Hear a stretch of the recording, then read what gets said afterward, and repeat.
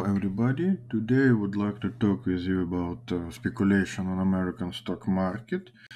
And first company that interesting for me, uh, you can see daily chart on your screen, um, ticker BSX, Boston Scientific Corporation. We can see a false breakdown with two bars um, for level uh, 56.22 cents, high of this green bar so if company will open trading today on price, for example, 55.80 cents, it will be good idea, for my opinion, for long deal.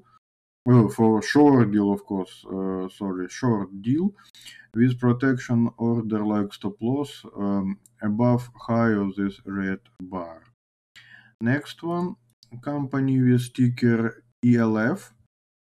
Um, we can see false breakdown with consolidation above level, above level 138.55.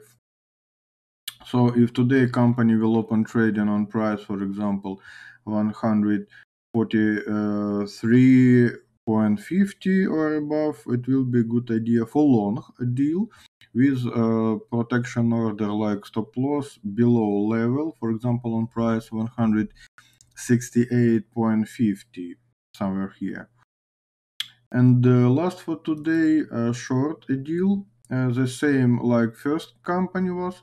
Um, first um, false breakdown with uh, two bars uh, for level uh, 37.72 cents. So if company VST open a trading for today on price, for example, uh, 37.35 or below, it will be good short for my opinion. Um, with a stop loss order uh, on high of this red bar, for example, on uh, 38.50 cents.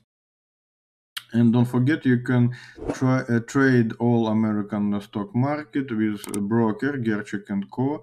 And uh, very good software, Trade Zero. So good luck, take care, and see you soon on next video. Goodbye.